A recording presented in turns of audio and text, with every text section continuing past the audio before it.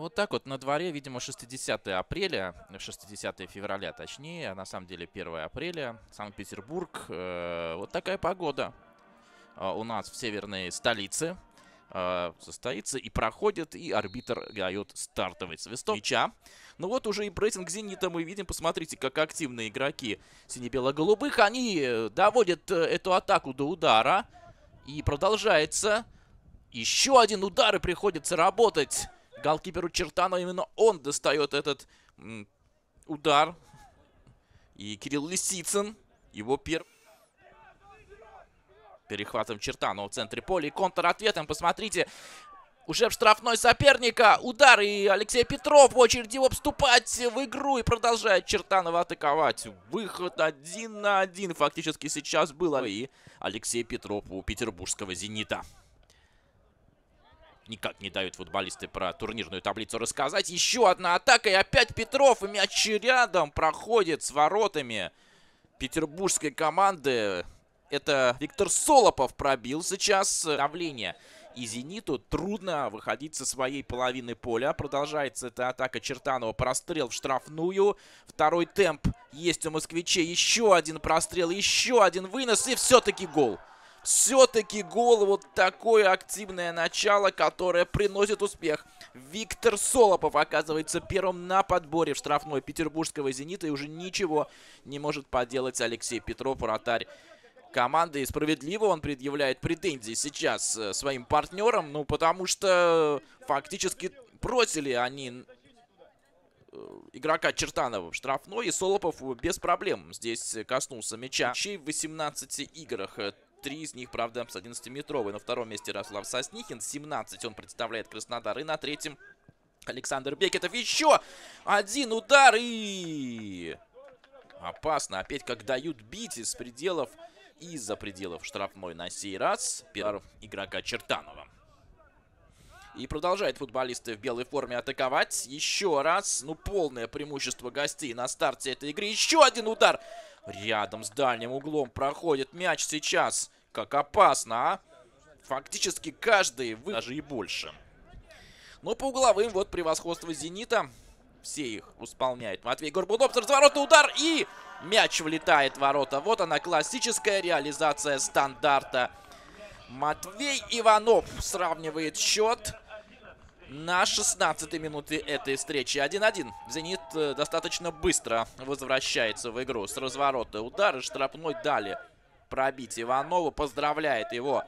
Продолжаются вновь. Борисов уходит за пределы поля. То есть Чертанова сейчас десятером, а «Зенит» атакует получив вот такое неожиданное большинство. Уж не знаю, сколько оно продлится. И гол! С острого угла, представляете? Да, эта игра, конечно, пока полна парадоксов. Вот такое тотальное преимущество Чертанова, когда команда соперника просто не уходит с твоей половины поля, создает эпизод за эпизодом, и при этом ты в двух атаках подряд забиваешь голы.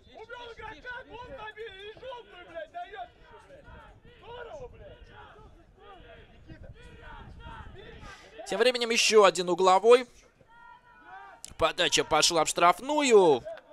Выше ворот удара. Алексею Петрову не пришлось здесь в игру вступать. Хотя неприятно, опять же, потому Сяева.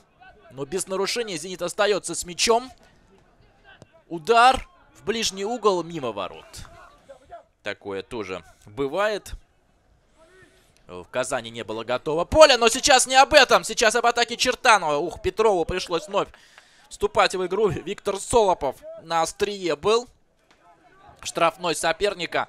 И же в Санкт-Петербурге, но это уже была полноценная домашняя игра, была обыграна. Гордей Сакирка опять забил, то есть получается, что для Сакирка это третий подряд забитый мяч, но сейчас нет положения вне игры, так что уже не был бы засчитан этот гол. Из апсайда Матвей Иванов наносил основного времени и ничего даже не стал добавлять. Эльвир Бенгачев Э, к этим уже сыгранным 40. Вместо 11 э, на 11 номер выходит вместо 9 Вместо Георгия Борисова. Зенит атакует тем временем и...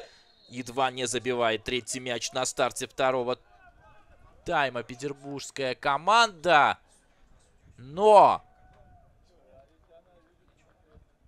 Жел... желтую карточку получает. И там набегали игроки Зенита. Так что пенальти безусловный. И желтая карточка тоже. Удар! Зенит выходит вперед. Плюс 2 в этой встрече. Очень важный мяч. Арсений Суглобов на старте второго тайма. Без вариантов он реализовал этот 11-метровый для Кирилла Лисицына. И, как и первая половина, второй тайм сразу же становится сверхсобытийным. Дмитрий Лапшин и Денис Кузьмичев. Два свежих футболиста. Вот 19 номер как раз у штрафной «Зенита». А! Чертанова едва не возвращается тут же в игру на тот самый минус один, от которого только что «Зенит». Чертанова с 18 забитыми мячами. Так вот, э, Пузанов, он под номером 2 э, в этом списке бомбардиров. Еще один удар! Ух! Сколько можно самим отдавать мяч? Это со скамейки «Зенита» сейчас Игорь Лебедев э, говорит. Но «Зенит» атакует тем временем, словно услышав своего тренера. И какой похожий гол Сакирка забивает. А, похожий гол э, на тот, который он уже забил в первом тайме. На сей раз э, фланг был противоположный. Да? Не правый, как это в первом тайме было, а левый фланг. Но по исполнению похоже. Согласен. И забил, точно попав в дальний угол. У Гордея два мяча забитых в сегодняшней встрече. Еще одна атака «Зенита». И 5-1 становится счет. 5-1 становится счет. Вот «Зенит» только дуплетами стреляет в этой встрече. В первом тайме с разницей в одну минуту. Во втором тайме также с разницей в одну минуту. Ярослав Кашевич на сей раз э, с правого э, угла штрафной этот точный удар нанесет. Но опять мяч пошел в дальний угол. И можно понять возмущение Даниила Козлова. Слишком легко «Зенит» эти мячи забивает. 5-1 петербуржцы в выездном матче. Сегодня вот э, буквально уже через 45 минут эта игра э, в Москве начнется. Ну а пока «Зенит» в атаке э, на линии 11-метровой. Посмотрите, здесь уже ни в чем себе не отказывают петербуржцы. Арсений Суглобов, какой красивый гол он забивает. У него тоже дубль сегодня.